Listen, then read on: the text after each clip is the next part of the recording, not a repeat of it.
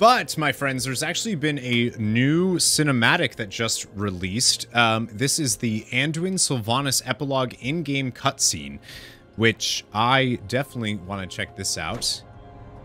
See what we got going on.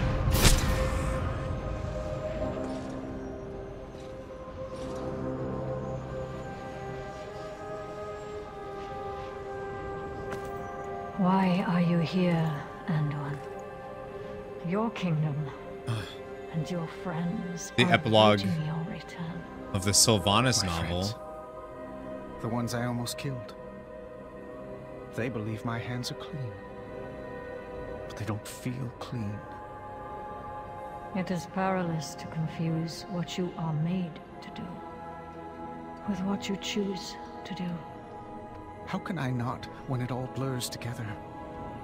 It was so horrific and exhilarating. And it sickens me to think that satisfaction may have been mine. Ah, so that's why you've come. You fear you might not be who you thought you were. I'm starting to wonder if I ever knew.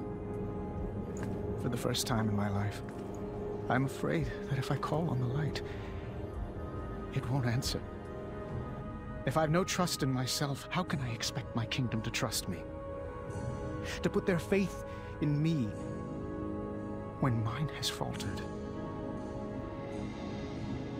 Must you bear that weight? A king does not have a choice. No choice.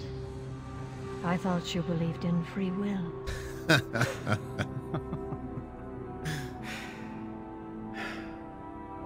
I need time to think about many things.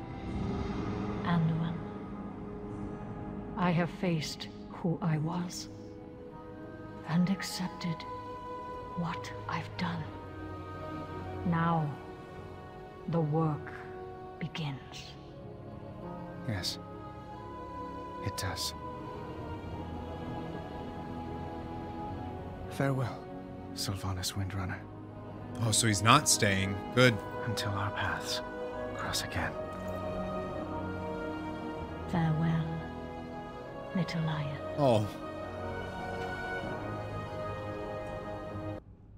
Oh, that was great. That was great. It's small, but it's cute and it's good. And it's I like that it, it puts um an even better conclusion to the already great Sylvanas novel, the epilogue that's in that. Uh, which I guess spoilers if you haven't I why are you watching this? If you there's spoilers. just all around. Anyways, thank you guys for watching my reaction to the Anduin Sylvanas epilogue in-game cutscene. Uh, I love, I love what they did with Sylvanas. I really, truly do. Uh, and I know a lot of people weren't uh, huge into her this expansion, but I thought she was awesome. I thought all of her motivation made sense. Uh, and this to me is like the best possible conclusion we could have gotten for her story, where she's not dead and she's also not just leading the Forsaken again. This to me is exactly the penance that she needed to pay um, for who knows how long, right? But Anduin seems to think that their paths will cross again. And I love that this is setting up something for potentially Anduin's fall. Anyways, thanks for watching. Never give up, never surrender. Bye, everyone.